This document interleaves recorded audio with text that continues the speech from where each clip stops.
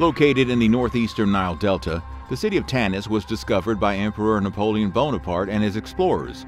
The uncovering of the city also exposed a lost but dark chapter of ancient history that held the secret behind the collapse of many Bronze Age kingdoms as well as a menace that threatened the existence of ancient Egypt during the New Kingdom era. An enemy shrouded in mystery, the bane of many prospering ancient nations, the end of an era of history. Welcome to Nutty History. Today we are exploring one of the biggest mysteries of the ancient world. Who were the Sea People, and why were they the scariest nemesis of the New Kingdom of ancient Egypt?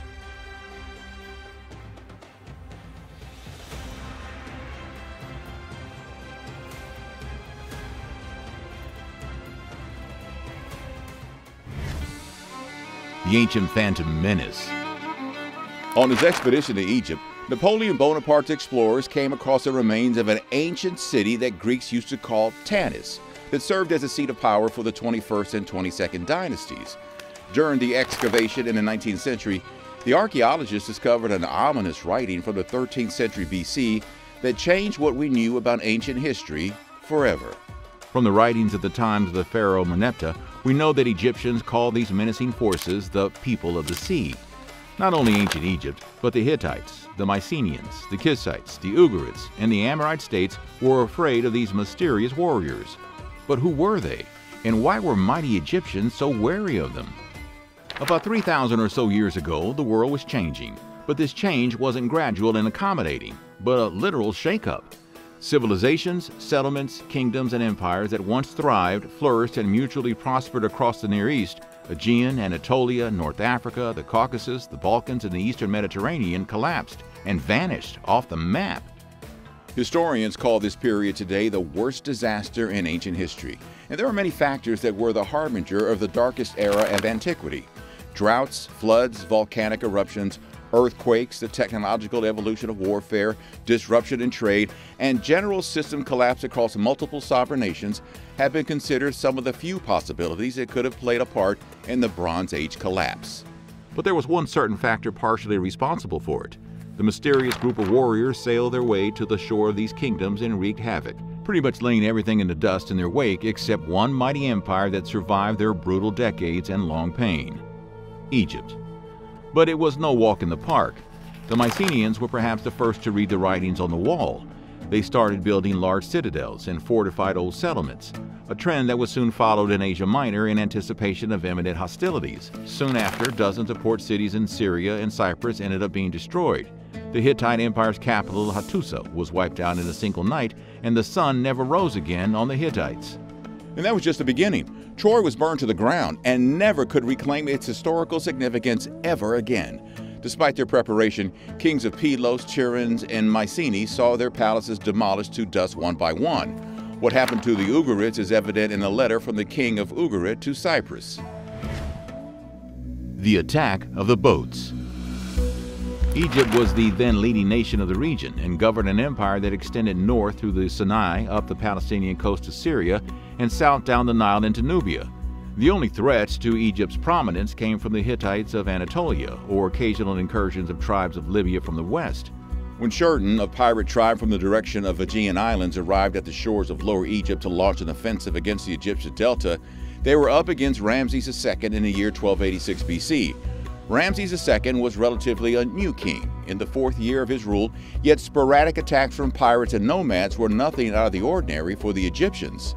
Ramses II was a capable commander and strategist, as history remembers, and he dealt with the invaders rather easily and quickly. He not only defeated them, but integrated the surviving lot of them into the Egyptian army. Records indicate that this was the first attack of the so called Sea People on Egyptian land. The Aswan Stele mentions Ramses II's victories, including the one against the ones who belonged to the Great Green, which was the Egyptian name for the Mediterranean. Based on the records drafted during Ramses II's son's Merneptah's reign, it seems the early Sea People were a coalition of five tribes Shurton, Teresh, Luka, Shekelish, and Ekwesh. Egyptians also referred to them as northerners coming from all the lands. However, there is no concrete evidence found yet about this mysterious force of reckoning's origins. But from what we know about them through Egyptian accounts, it seems Egyptians knew where they came from. But if they wrote about it, that record is yet to be found.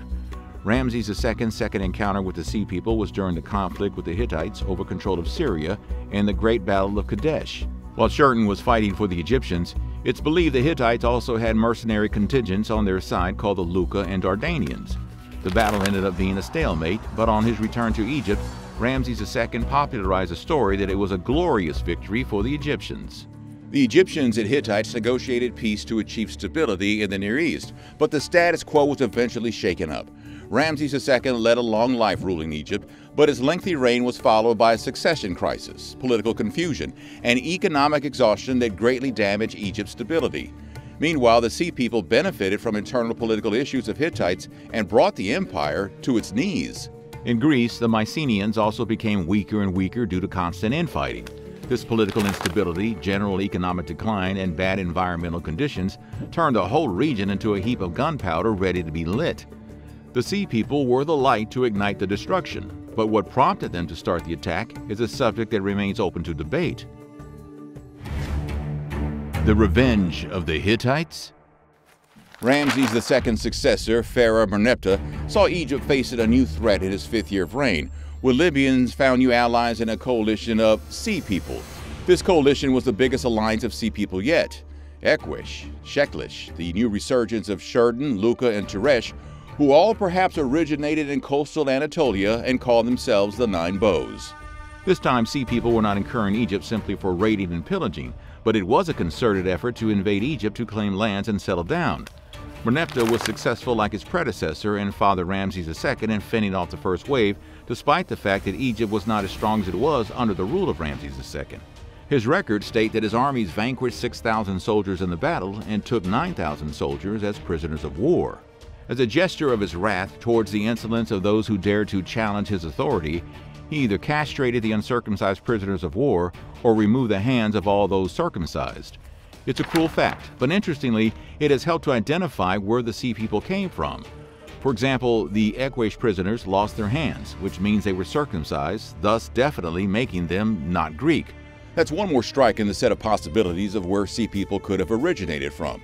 I know it's not a big reveal, but as Sherlock Holmes said, Eliminate the impossible, and whatever remains, however improbable, must be the truth. Chikere, Teresh, and Wishesh most likely hail from the region that was known for a city called Walusa. But Walusa was the city's late Bronze Age name, and in the past it was known as Troy. Yes, the very Troy that is known for Helen, Achilles, and the Trojan horse. So there is a good chance that the nine bows were mostly remnants of Hittites going for a last huzzah against the Egyptians. Historians have also speculated that Denyen might be Danoi, Shekelish could be the ancient Sicilians, Shurton could have come from Cyprus, and Ekwesh are conjectured to be from somewhere in the Aegean Sea, but mainland Greece is out of the equation because of the mercenaries missing some skin.